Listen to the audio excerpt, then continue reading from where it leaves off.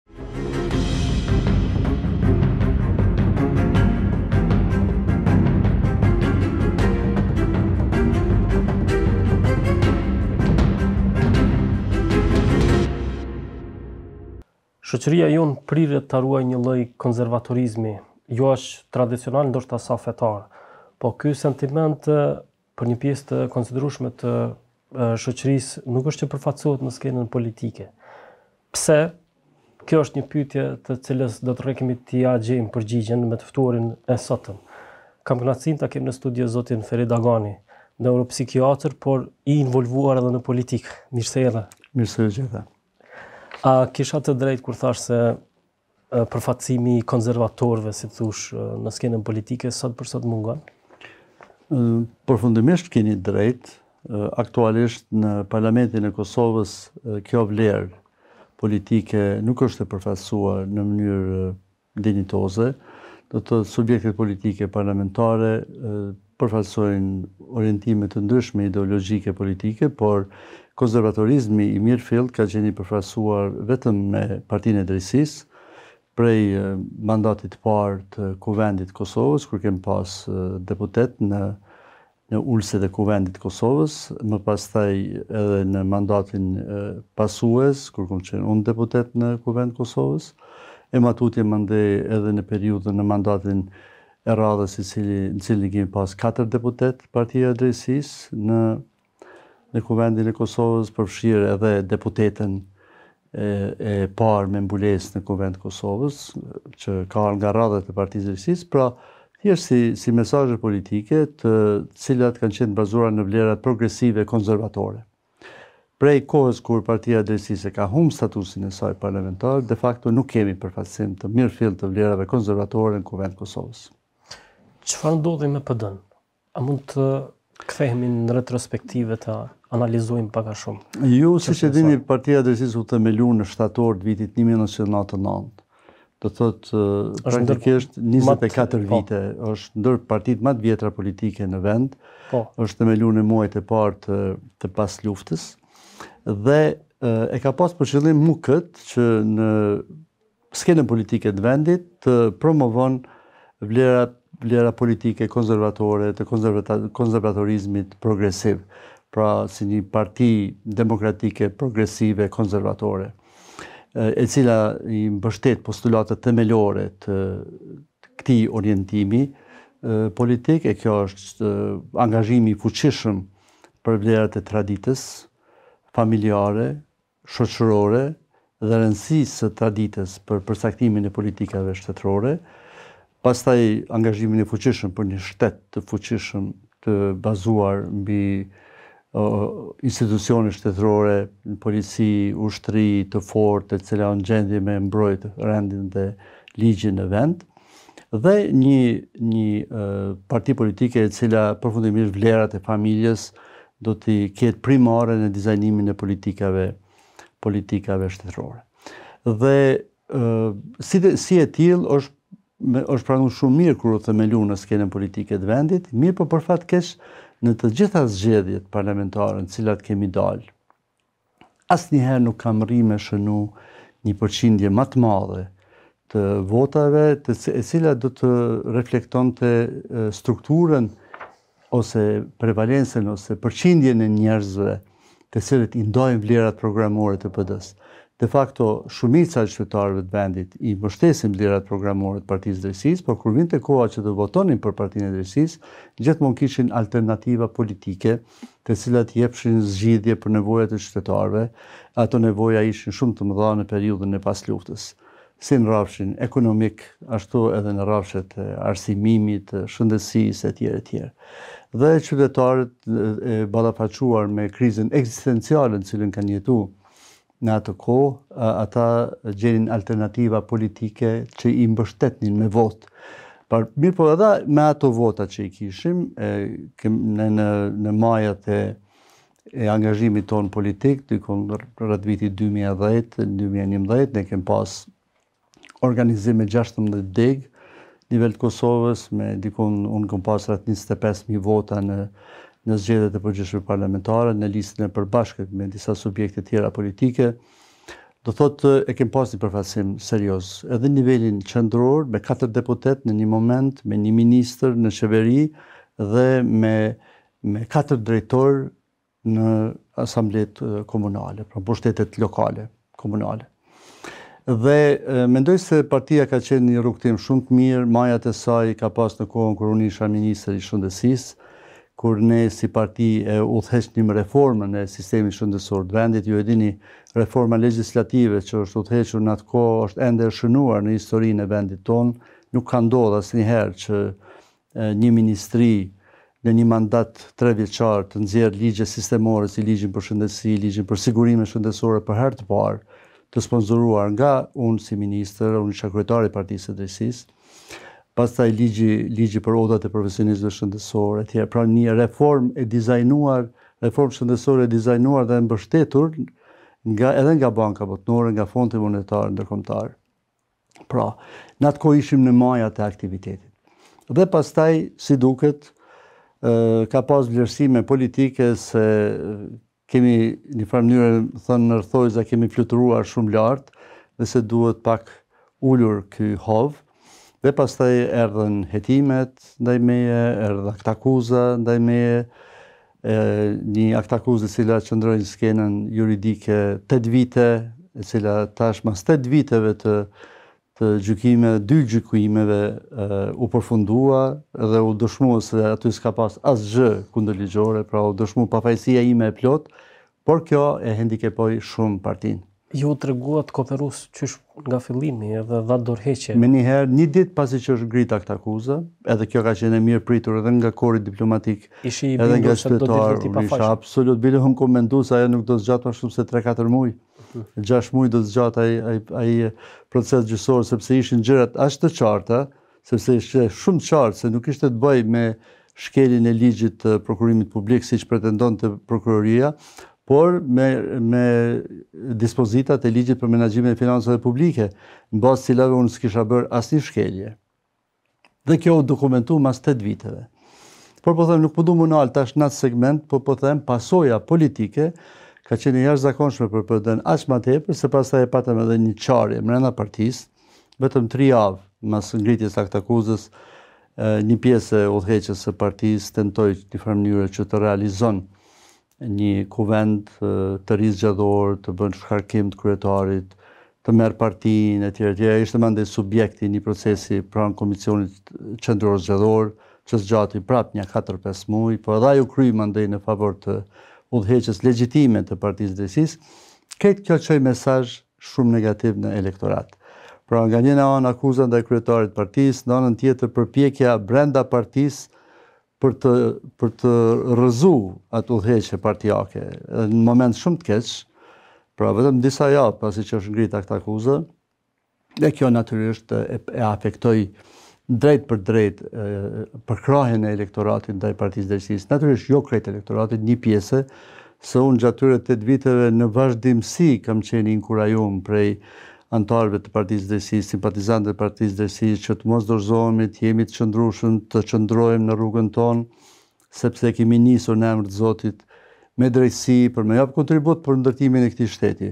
Dhe nuk kemi u nalë asnjëherë, natyrisht këto tetë vite kanë qenë të randa shumë, e hupëm statusin parlamentar, financimi i partisë ka qenë shumë i randë, mos them i pamundur, partia është financu që thonë nga xhepat tanë, nga kryesia e partisë, Na kem pas zyret e partisë në kontinuitet, partia ka qenë e regjistrume edhe zyrtare në Komisionin Qendror të Zgjedhjeve tërë kohën, asnjë moment nuk kemi pas shkëputje, por megjithatë aktivitet politik të mirëfilltë nuk kemi pas. Dhe tani para dy javësh e patëm kuvendin e rregullt zgjedhor të partisë. Po u rizgjodhët.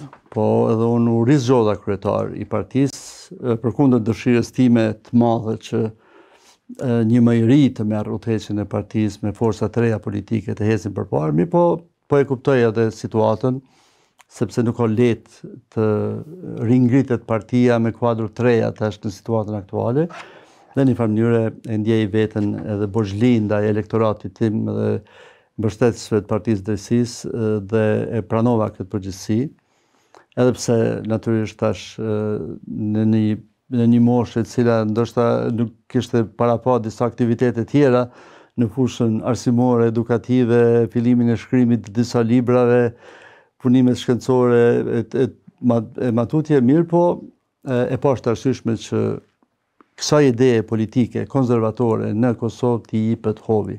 Sepse E kam një bindje edhe mendoj se kjo është shumë interesante edhe për t'u trajtua, ju e nisët në këtë drejtim edhe bisedën. E kam një bindje thu se ideja politike konservatore në Kosovë nuk mund të ekzistojë, nuk preferohet, nuk është e dëshirueshme.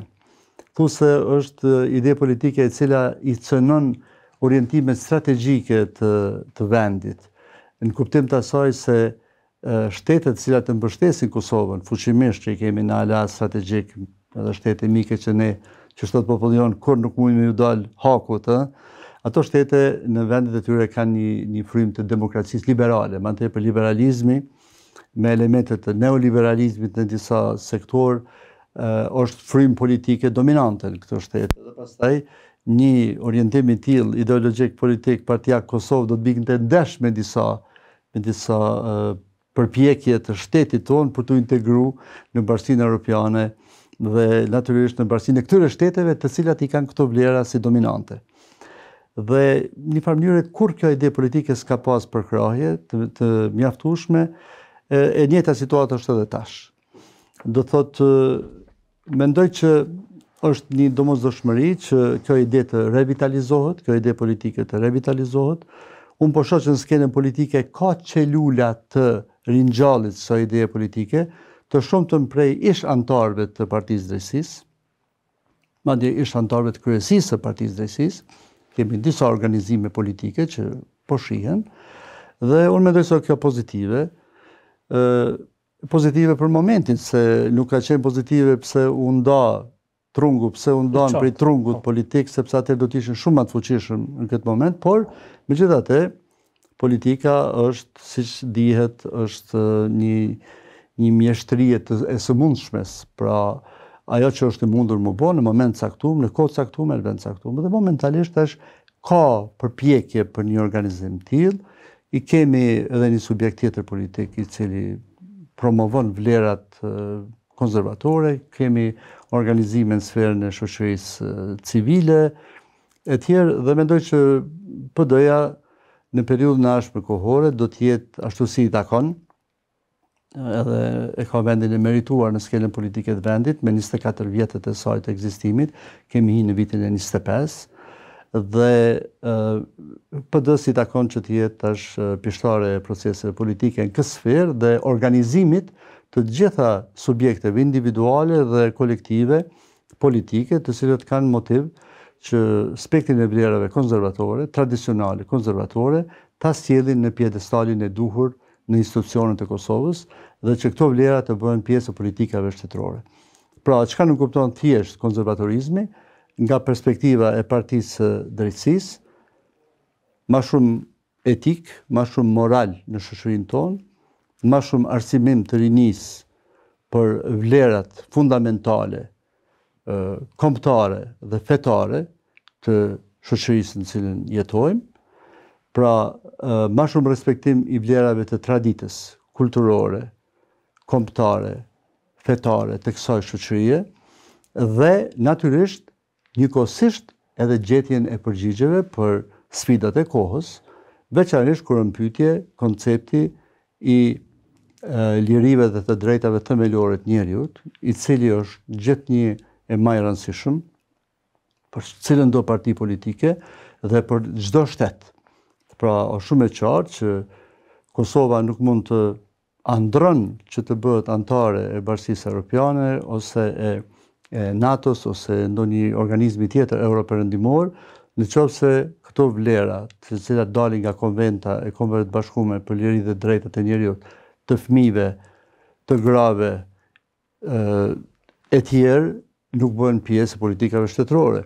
Dhe në këtë aspekt, koncepti politik konservator ka përgjigje, ka përgjigje të mirëfillta aspak problematike, pra të respektohen liritë dhe të drejtat e njeriut, si ato themelore, si ato kolektive, të fëmijëve, të grave e tjerë, por njëkohësisht të mos cënohen vlerat e traditës shekullore të kësaj shoqërie. Pra ekziston mundësia dhe Kosova të jetë një shtet në cilin do të ketë prosperitet, do të çdo individ do ta ndinë veten mirë, do ta ndinë veten të sigurt, do ta ndinë veten të respektuar prej tjetrit dhe natyrisht në cilin të gjitha energjitë individuale do të kanalizoheshin në interes të shtetit, si vlera më e naltë sublime e një populli, e një shoqërie në një territor të caktuar. Besoni që në këtë lloj rikthimi, po e quaj rikthim, ë Është edhe një farë momenti për të reflektu për ata hapa që mund të cilësohen të gabushëm.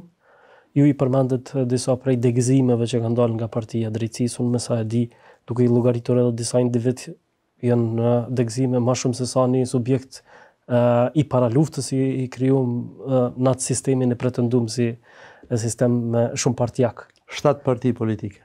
Të regjistruara në KQZ. Megjithatë pra ka qenë produktive. Sigurisht, Partia e Drejtësisë ka pas potencial të madh, edhe njerëzor, edhe, edhe ideor. Dhe si e tillë edhe më pastaj u pa se ka potencial edhe të gjenerimit të subjekteve të reja politike.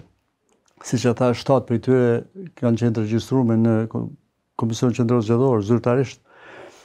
Por kjo reflekton pak edhe aspiratat e individëve, të cilët janë nda nga Partia e Drejtësisë, në shumicën e madhe të rasteve, po them jo të gjitha rastet. Më shumë aspiratat ndoshta se sa. Po aspirata për për të po. qenë për të qenë bartës të subjektit politik, edhe pse unë nuk i kam pas atë problem kurrë. T'ju them këtë po e ndaj me shiqusit edhe me ju kur u themelu Partia e Drejtësisë ka qenë insistim i bashkëthemeluesit të partisë në atë kohë Sulejman Çerkezi që të jem kryetar i partisë, që ta udhëheq partinë nga ditët e para. Këto ishin ditët e para të pasluftës. Unë isha në mu mu kishte ndërprej hovi i zhvillimit tim akademik shkencor me okupimin e Kosovës vitin 1990, unë atëherë kom kry specializimin. Dhe i kisha përpara magjistraturën, magjistrimin, i kisha doktoraturën, hulumtimet shkencore, ambiciet për reformimin e sistemit shëndetësor në vend, e themeluam shërbimin e ri të shëndetit mendor në Kosovë mas luftës, plotësisht inekzistent, për pesë vite që pak qytetarë e dinë për këtë, u themelu sistemi i dhjetë qendrave të shëndetit mendor, dhjetë shtëpive për integrim, në komunitet, fillu me ofru shërbimet për pacientët psikiatrik nëpër nëpër fshatrat e e vendit. Edhe ti përmendi qe dy-tri fjalime, qe se po bëjmë bisedën në ditën ndërkombëtare të shëndetit mendor që është që është dhjetë tetori. Do thotë Kisha shumë plane individuale të pakryera dhe unë insistojsha që udhëheqës politik të jetë një individ i cili ato ka profesion, që s'ka angazhime tjera dhe kjo ishte marveshja edhe tek mas tre mujve masi që kemi themelu partinë, kemi vendosë unë të, të marr vetëm, vetëm postin e nënkryetarit të partisë që kom qenë mandej nënkryetar deri në marrjen e mandatit si kryetar i partisë në vitin dy mijë e dhjetë. Do thotë, s'ka pas problem te unë çështja e liderizmit. Absolut s'e kom pas atë problem, nuk e kom as sot. Jom plotësisht i hapur në atë aspekt, jom plotësisht i qetë, nuk kam unë, nuk është kjo, nuk është ky profesioni im themelor. Unë kam profesionin tim themelor, punën me pacient, e kom pas gjithmonë punën me student. Këto kanë qenë ato angazhimet e mia themelore. Por angazhimi politik m'u ka imponu si nevojë që si kuadër ta mbroj këtë ide politike konservatore, progresive, demokratike në këtë vend. T'i nimoj shtetit tim që të ecim përpara edhe në atë aspekt. Ju e dini, unë vi prej një familje e cila e ka dhonë një kontribut në këtë aspekt. Axha Fehmi Agani, ju e dini, ka japë një kontribut me një subjekt tjetër politik, po ka japë kontribut të fuqishëm në, në diversifikimin e idesë politike në vend, ka, ka studiu këto në mënyrë shkencore. Po, dhe e kom ni si përgjegjësi familjare, këtë e kom ni si obligim, dhe me knaqsi e kom bo atë punë dhe vazhdoj ta bëj edhe sot. Pra, a ka pas gabime në të kaluarën? Po, natyrisht që ka pas gabime. Sigurisht, siç edhe njeriu ka gabime edhe subjekti politik, veçarisht një subjekt i tillë politik, shumë specifik për këto hapësira që ka mujtë të pasë gabime. Ju vetëm shiqoni hapësirat e Shqipërisë, merrni Republikën e Shqipërisë, dhe shini atje, a ka mujtë me gjallnu ideja politike konservatore. A kemi ndonjë subjekt ma relevant, për shembull që ka pas katër deputet, ministra në qeveri, e në bazë të idesë politike konservatore. Ekziston. Pra këtu e shihni sa është sa ka qenë arritje kjo në Republikën e Kosovës. Dhe unë mendoj se PD-ja ka bo një, një punë të jashtëzakonshme në në emancipimin politik të, të shoqërisë tonë. Ju e dini problemin e madh të lirive dhe drejtave të të vajzë dhe grave dhe vajzave të cilat banin mbulesa dhe për dhe praktikisht sanksionoheshin me të drejtën e shkollimit, të drejtën e punës për shkak të Partia e Drejtësisë ka qenë ajo e cila me punë politike e ka sjellë deputeten në Kuvend Kosovës. Dhe aty mandej krejt shoqëria e ka pa që prej kësaj mund të ketë vetëm dobi se nuk mund të ketë nuk mund të ketë asgjë dëm dhe në qoftë se nuk kemi mujt drejtpërdrejt me ndryshu disa gjëra që po shihet nuk po mujnë me ndrru as tash, se neve na është pa për shembull shumë për të madhe pse na nuk e kemi ndryshu atë udhëzimin administrativ, ju kujtohet për mbulesa. Po, po. Edhe na u ka pa shumë e madhe. Sot e keni partinë n'pushtet që e ka premtu një gja të tillë edhe nuk po e ndrron, nuk po e bon. Shkaqet për këtë janë shumë të thella, nuk janë këto gjëra bardhë e zi.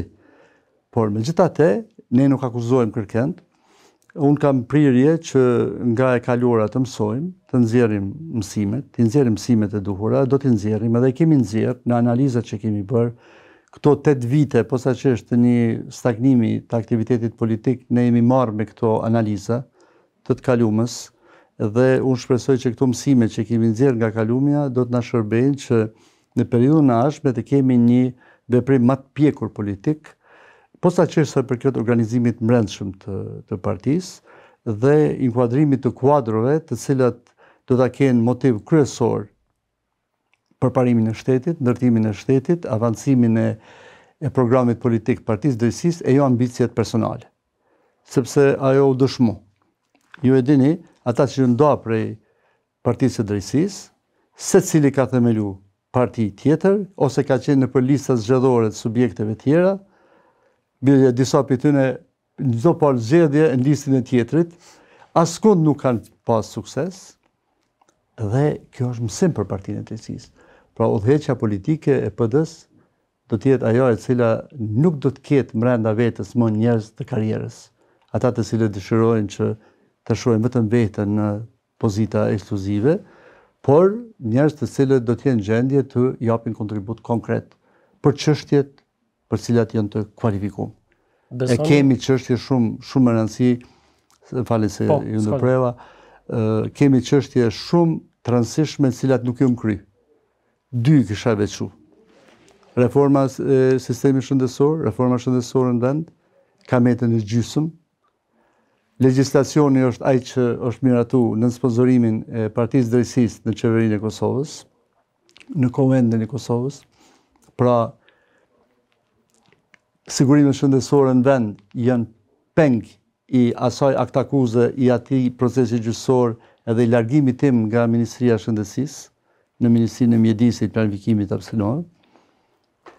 Dhe e dyta, një çështje që është për mua jashtëzakonisht e rëndësishme, e kjo është çështja e zbatimit të lëndës së arsimimit fetar, le të ketë emër çfarë të dojnë, arsimim dhe edukim fetar në shkollat publike të vendit shkollat fillore dhe të mesme të vendit. Ju kujtohet hera e parë kur e keni pas plasuar në Parlamentin e Kosovës si ide. Ju kujtohen reagimet Po, më kujtohen edhe debatet edhe bile cilat parti kanë qëndru në sallë e cilat kanë dalë prej salle, po, po fare mirë. Se ka që një dekadë e më tepër ndoshta që shërbej si gazetar. Po, po e kishim fjalën te, te hapat një farë mënyre të gabuar edhe mësimet që mund të nxirren prej saj. Besoni që ka megjithatë potencial për t'u Kthyer PD-ja në parlament për t'u bërë parti parlamentare? Unë mendoj se po. Nisur prej këtij faktit. Nën një, të gjithë ata të cilët janë largu nga partia e drejtësisë, e kanë derën hapur për t'u kthy në Partinë e Drejtësisë dhe për të jap kontribut në fushat e veta, natyrisht me aktivitet politik në bazë, në kontakt me qytetarë. Jo me kthim në pozita, në poste, po me kthim, me mundësi të kthimit në teren, në degët e partisë. Sot partia e drejtësisë i ka prej 16 degëve aktive që i ka pas para të themi 10 viteve, më shumë se 10 viteve, sot i ka 6 aktive.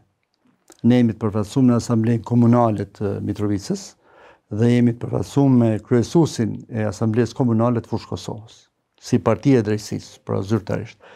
Pra ka hapësinë të madhe të punës dhe ata janë të gjithë të ftuar nga unë edhe në shumë emisione para këtij, edhe në këtë emision që të japin kontribut të mirëfilltë, edhe ata duke mësuar nga gabimet e tyre dhe duke u kthyer në shtëpinë e tyre ku kanë jetu, shtëpinë e tyre politike dhe të japin kontributin për ndërtimin, e, rindërtimin e partisë së drejtësisë. Kjo një. Pra ky potencial ekziston. E dyta, mbështetja në elektorat gjithmonë ka ekzistuar dhe ekziston. Edhe këto 8 vite të jeni të bindur në te, nuk po e them me ndonjë qëllim politik, por për, në mënyrën më të sinqertë po e përcjeli mbështetjen e jashtëzakonshme të elektoratit të PD-së. Asnjëherë elektorati i PD-së nuk e, nuk e ka ni veten të tradhtuar nga udhëheqja e partisë, veçanërisht nga unë si kryetar. Të gjithë më kanë përkrah dhe në betejën time juridike tetë vjeçare më kanë përkrah asnjëherë nuk kanë shpreh asnjë pikë dyshimi në personalitetin tim as politik, as profesional, as akademik, në asnjë mënyrë. Prandaj ata janë në teren. Ata njëzet e pesë mijë njerëz të që e kanë mbështetë Partinë e Drejtësisë në një kohë, ata janë ata janë të gjithë janë mbështetës Partisë së Drejtësisë edhe sot. Jam thellë i bindur në këtë dhe edhe kjo është shumë fakte dëshmojnë këtë. Ma tutje është një numër i madh i intelektualëve, të cilët i mbështesin vlerat politike konservatore. progresive, demokratike, konservatore. Ata kanë qenë të heshtur, nuk kanë qenë të angazhuar në politikë, të zhgënjyer me shumë zhvillime politike në vend. Tash po e shohin se ka ardhur momenti kur gjitha maskat kanë ra. Mo nuk ka asnjë subjekt politik i cili nuk e ka shpërfaqë veten në tërësinë e tij. Për secilin subjekt politik mund të flitet. Prandaj tash Partia e Drejtësisë del para të gjithë qytetarëve të vendit dhe thotë na jemi ata që kemi qenë në shtator të vitit 1999. Na nuk kemi ndryshu asgja. Aq sa na kini jap mbështetje, por shumë ma tepër me vullnetin e Zotit të Madhërishëm, ne kemi arrit, ndoshta gjithmonë në zgjedhje i fitojshim dy për qind, tre për qind votave, ndërsa kishim përfaqësim në, në Kuvend Kosovës, thu se jemi parti me, me 70-80 mijë votus. Katër deputetë, ministrë në qeveri. Po më kuptoni, do të thotë ka intelektualë të cilët besojnë në këto vlera, janë të gatshëm m'u asociu, disa prej tyre veç i kemi edhe në kuvendin e fundit zgjedhor, i kemi tash në, me, në mesin e radhëve tona, i kemi edhe anëtarë të kryesisë, e, disa të tjerë janë po ashtu të gatshëm që të angazhohen, dhe unë mendoj që kur shihet kjo në këtë mënyrë, pra kuadrot e reja, ish kuadrot e PD-së, të vullnetshëm për me jap kontribut në Parti të Drejtësisë elektorati, rinia e cila ka nevojë të madhe për programin politik të PD-së nuk nuk e theksova sa duhet komponentën e komponentën e dytë programore jashtëzakonisht të, të rëndësishme të arsimimit e edukimit fetar në shkollat fillore dhe të mesme. Shiqoni, kjo ka rëndësi jetike për shoqërinë kosovare. Rinia e Kosovës del prej bankave të shkollës mesme pa ditë asgjë për krijuesin. Ka diskrepancë të madhe në mes asaj si jetohet në shtëpitë, në familjet tona dhe çka mësohet në shkolla. Është diskrepancë e madhe, jo vetëm në çështjet fetare, po në çështjet historike. Shumë pak mësohet për luftën e lavdishme të Ushtrisë Çlirimtare të Kosovës, për figurat e lavdishme të këtij kombi, si për figura kombëtare, ashtu për figura politike, ashtu për figura shkencore, ashtu për figura fetare. Pak mësohet, do të mund ndrruar kurrikulumi arsimor, por shihet shumë qartë që ky kurrikulum është ka prodhon vetëm degradim të rinisë, nuk është duke i shfrytëzu gjitha potencialet krijuese të rinisë, nuk është tu u ndërtu mbi vlerat e tyre individuale. Kemi një rini të mrekullueshme. Të mrekullueshme, n'plot kuptim fjalës, inteligjente, të zojën që me i përvetësu të arriturat ma të reja shkencore. çka bëjnë fmitë tonë me telefona, na habitemi edhe na që jemi ma të moshumë. Çka do thotë kjo? Në qoftë se kanalizohet ai interesim në drejtimin e duhur, Kosova do të ishte shumë shpejt do të ishte bërë vendi me të cilin do të krenohej Evropa. Do të krenohej Evropa me ne. Se na jemi djepi i civilizimit evropian. Shiqoni historinë tonë, shiqoni gjetjet arkeologjike që ndodhën para pak dite në në Ulpianë. Do të thotë ajo që po mungon është shfrytëzimi i këtij potenciali të jashtëzakonshëm biologjik, mental, shpirtëror, intelektual të rinisë kosovare. Po na shfrytëzon perëndimi në kuptim negativ të fjalës. Po dalin prej këtuajt, emigracioni është i tmerrshëm. Edhe këto janë proceset të cilat duhet urgjent të ndërpriten me një zhvillim të hovshëm ekonomik. Në lamit ku kemi përparësi krahasuese me shtetet e tjera. Për shembull vetëm sistemi shëndetësor. Unë ju them, legjislacioni i Kosovës, aktualisht, është i tillë, ai legjislacion që ne e kemi miratu në Kuvend të Kosovës, pra që nga koha ime si ministër, pa e ndryshu fare atë atë kuadër legjislativ.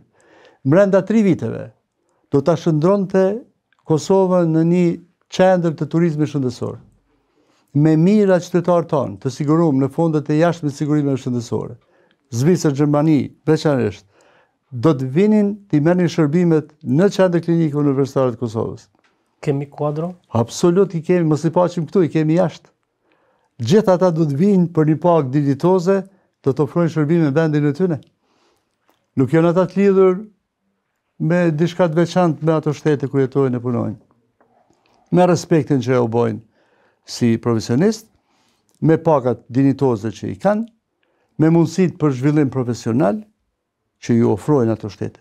Ofroja ato në vendin tënd, e ajo nuk është fare e shtrejtë, në, në një sistem të reformuar shëndetësor, edhe e shihni se si njerëzit do të vijnë edhe ata mjekë do të kthehen në vendin, në vendin tonë. Do të punohej në klinikat e qendrës klinike universitare të Kosovës në tri ndrime. Tri ndrime ish punu, ishin operu rastet edhe natën. me kontrata që fondi i sigurimeve shëndetësore dhe shërbimi spitalor klinik universitar i Kosovës kish lidh me fondet e jashtme të sigurimeve shëndetësore. Pse këto unë po i foli kjo nuk o imagjinatë, kjo nuk është andërr, kjo realitet se gjemani një shtet në rajon, i cili e ka 60% të popullatës jashtë vendit. Një shtet, ne kemi diasporë, mërgatë, kemi 850.000, 900.000 zyrtarisht jashtë vendit. Krejt ata mund me qenë klientë të shërbimeve shëndetësore të Kosovës. E mora vetëm shëndetësinë si një aspekt të, të vogër për me tregu se me, me PD-në në pushtet, në sektorin e shëndetësisë, gjendja mrenda tri viteve kishte me ndryshu në mënyrë radikale. Ajo që ka ndodhë me ndërprerjen e reformës, ajo është krim, ajo është krim që duhet ndajherë m'u hetu, çka ka ndodhë, si ka qenë e mundur m'u ndërpre ajo reformë, si është e mundur që sot ligji për shëndetësi nuk zbatohet. Sot nuk zbatohet. Sot në bazë të ligjit për shëndetësi në fuqi, Qendra Klinike Universitare e Kosovës, spitalet regjionale kanë të drejtë me inkasu mjete, me kriju profit. me kriju të hyra të veta, jashta buxhetit, pse nuk, pse nuk shfrytëzohen ato mundësi? Vazhdimisht e bëj këtë pyetje. Prokuroria vazhdimisht e ndëgjon këtë konstatim, s'ka kurrfarë reagimi shoqëror në këtë. Jo nga prokuroria, po as nga mjekët, as nuk ka nga shoqëria civile, s'ka nga asnjë nivel. Pra, këtu është një apati totale për shkak se në nivelin politik mungon vizioni i reformimit.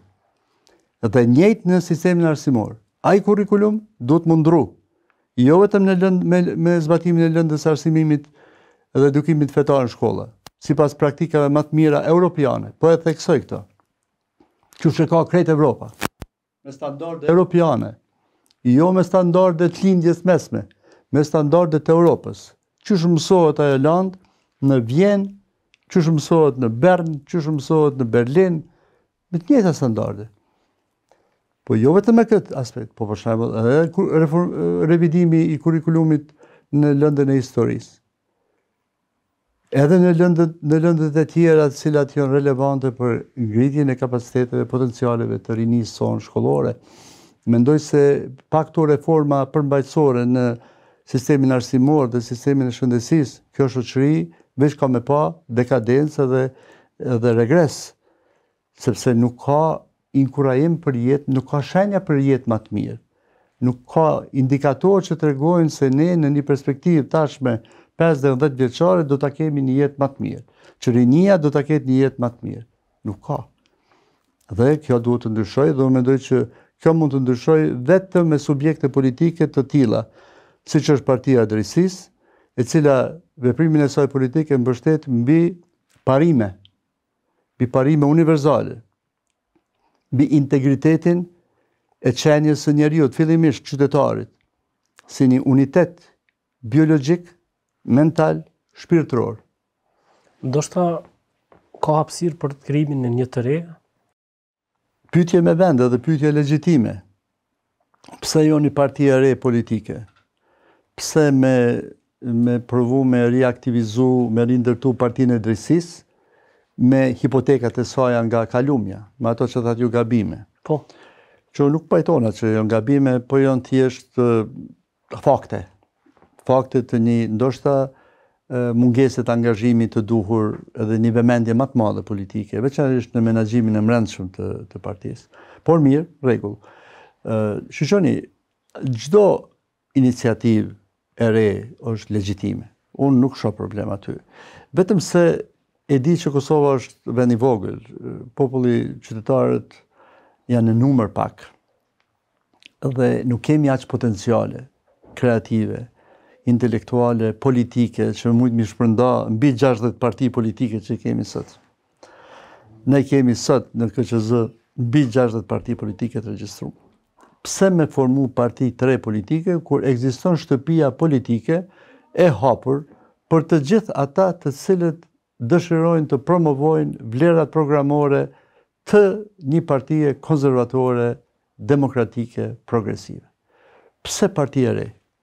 Madje madje duhet në Partinë e Drejtësisë të shkrihen të gjitha iniciativat, edhe politike partiake individuale, të cilat do të sjellnin kualitet të ri në në punën tonë partiake, unë jam plotësisht i hapur për një unifikim të tillë, posti i kryetarit n'këtë aspekt, për mu nuk paraqet asnjë problem.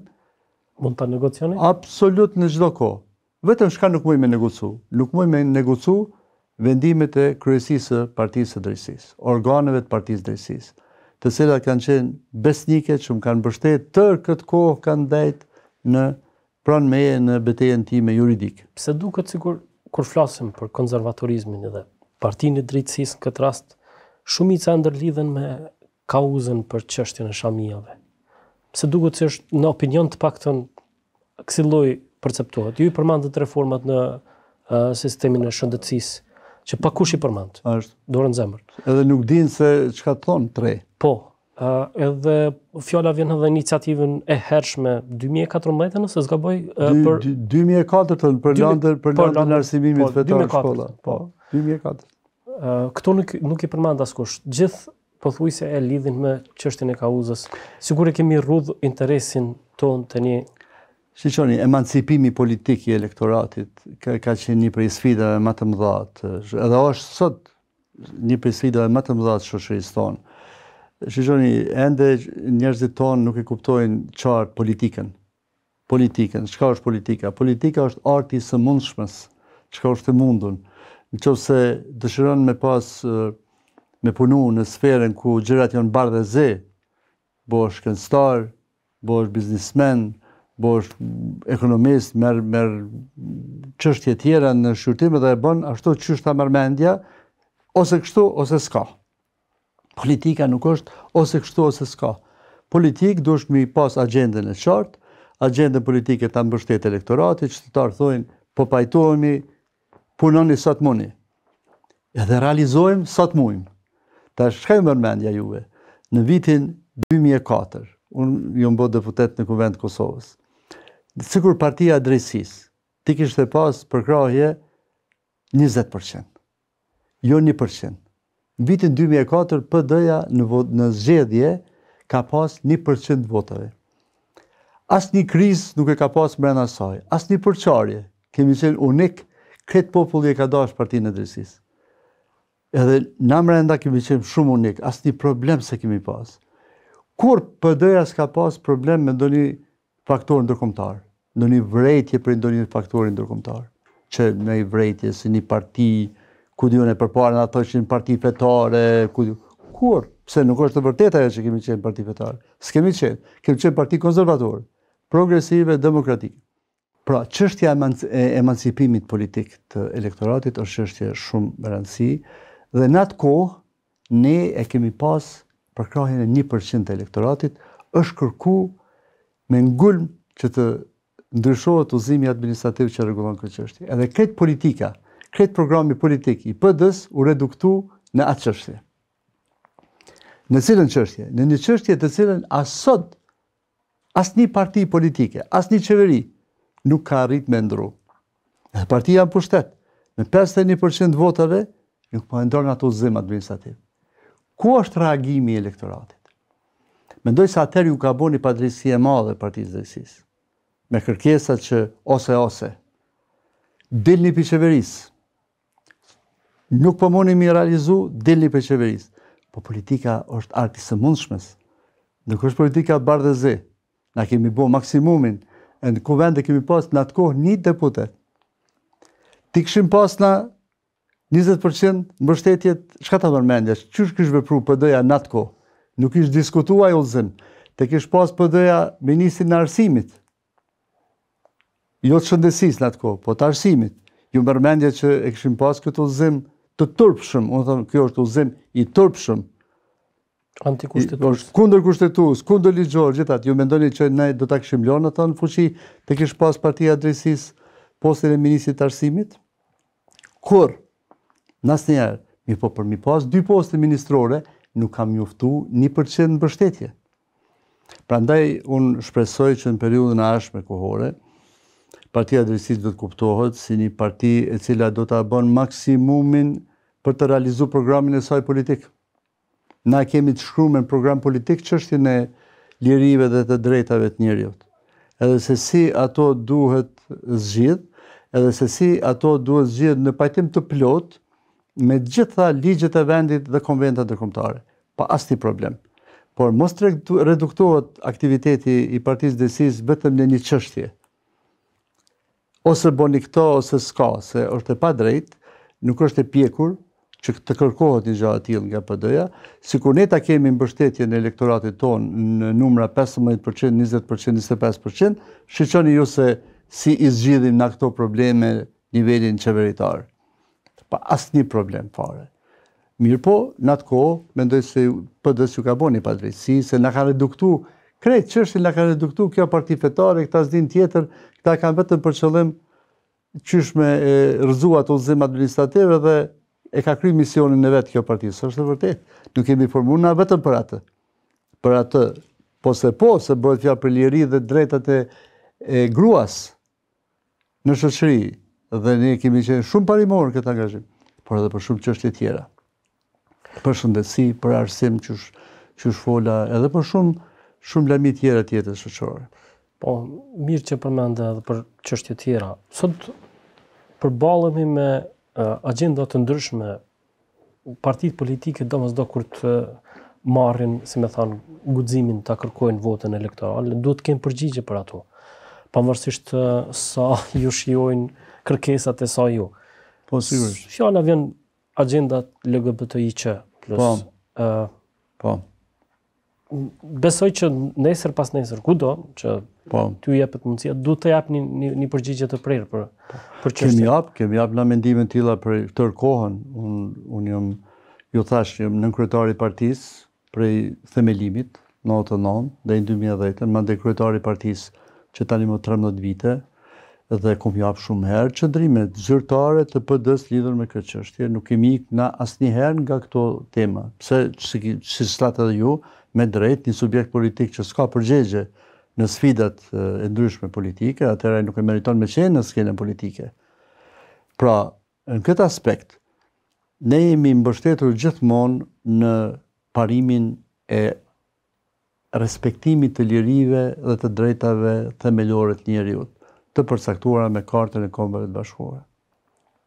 Respektim i plotë të drejtave themelore individuale dhe kolektive, lirive dhe të drejtave të fëmijëve, të grave, pra nga instrumentet demokratike ndërkombëtare, të cilat përdoren për të rregullu këto çështje. Nuk kem pas asnjë dilemë këtu. Parimi ka qenë i vetmi kufi për liri dhe drejtat e njeriut është liria dhe drejta e qytetarit tjetër. Pra, një qytetar në këtë shoqni, në këtë vend, ka liri dhe të drejtë me ndi veten qysh don vet. Ku konsideroni që shkelen, shkelet ky kufi? Në atë moment kur ky qytetar fillon me ia imponu atij qytetarit tjetër vlerat e tij, vlerat dhe besimet e tij, bindjet e tij. E drejtë.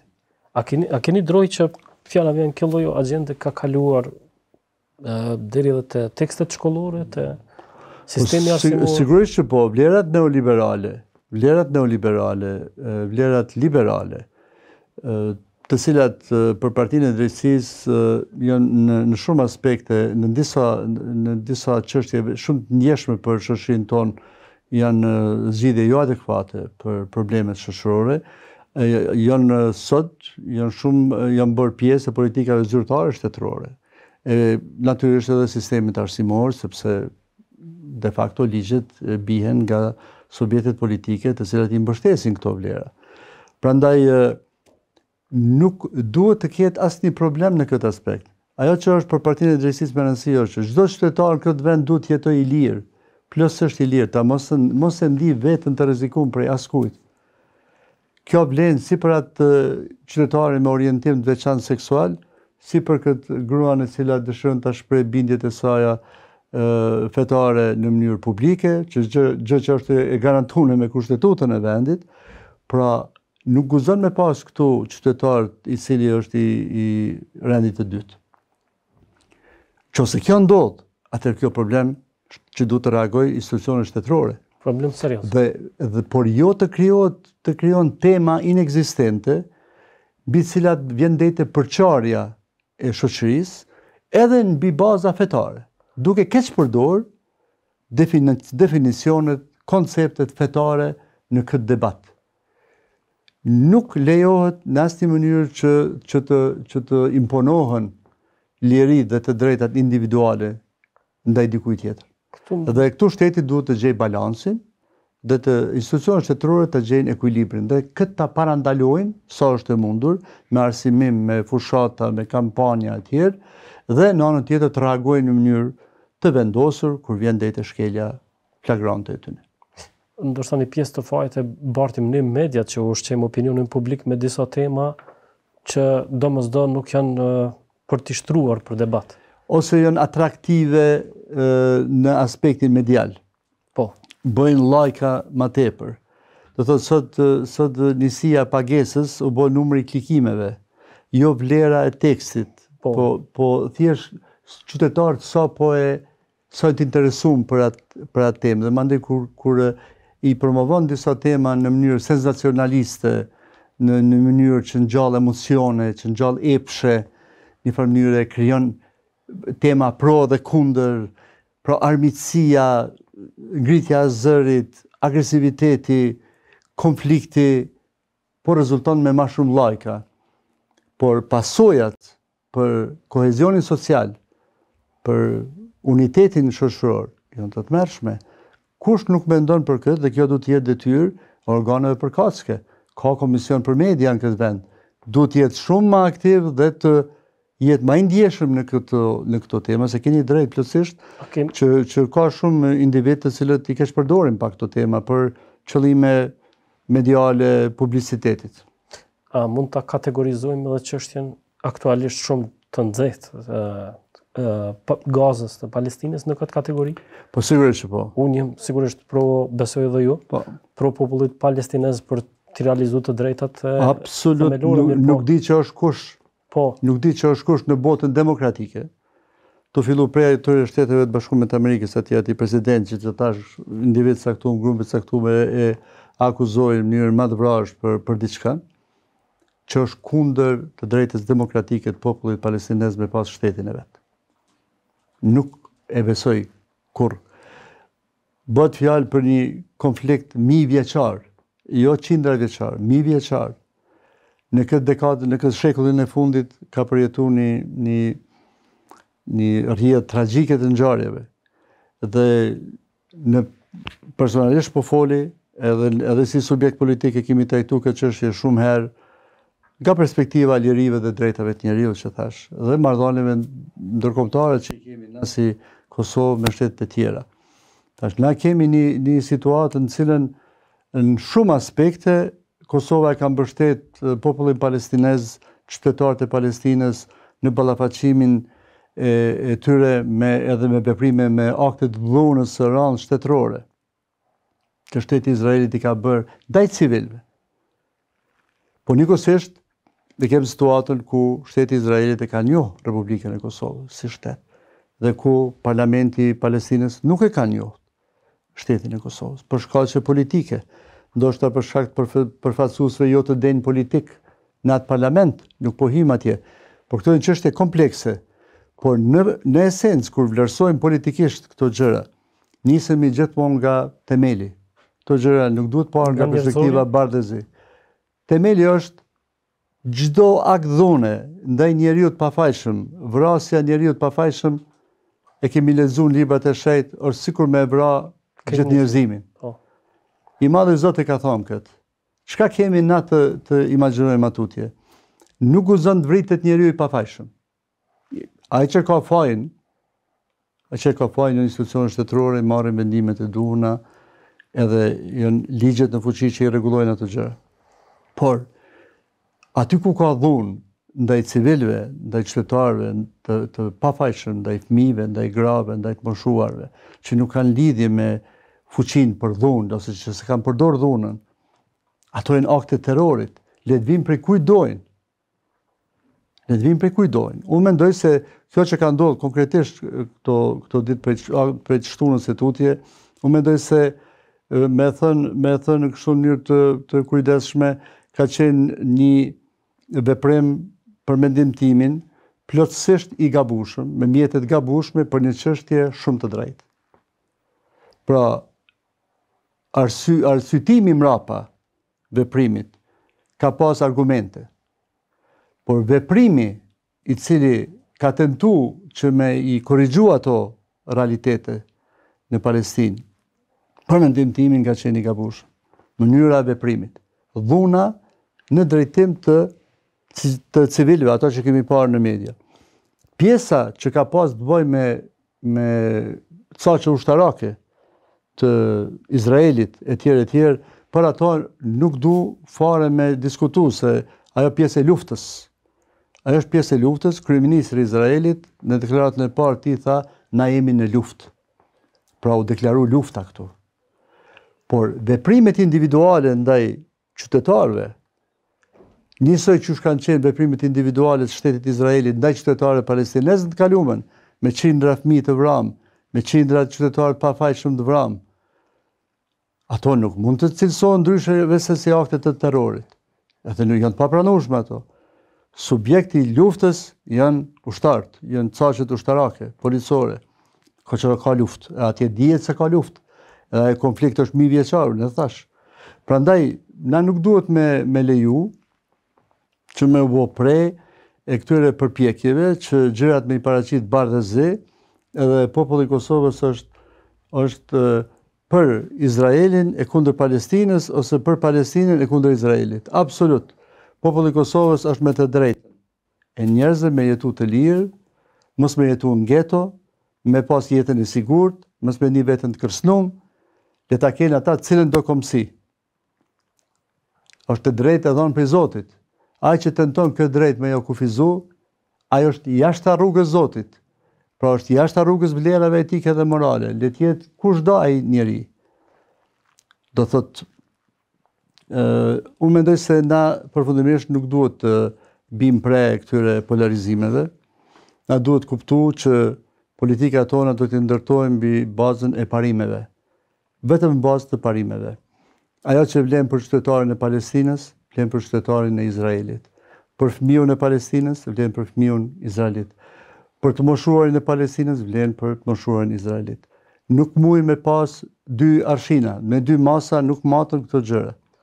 Dhe çdo rast është tjetër. Në çdo situatë vlerësohet ndryshe. Nuk kemi këtu një përgjigje universale për krejt. Do të thotë edhe na si popull kena mujt me zgjedh mënyra tjera të zgjidhjes së problemit të Kosovës.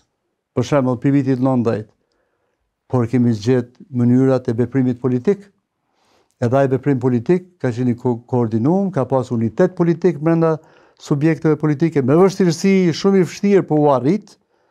Një delegacion ka shku në Rambuje. Nuk kanë shku tri delegacione prej Kosovës. A është e vërtetë ajo? Sot e kemi në në Palestinë e kemi situatën tjetër. Ende diskutohet sot a do ta ketë përkrahjen ë ë pjesa e Gazës nga Bregu Perëndimor. A do ta ketë a s'do ta ketë, çfarë janë këto pyetje kështu?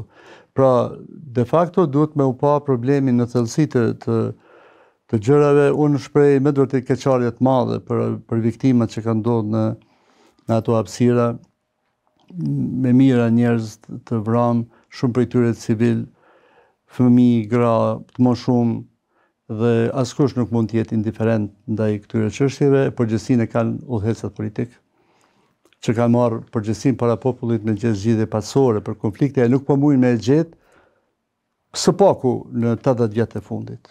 Nuk po mujnë me arrit.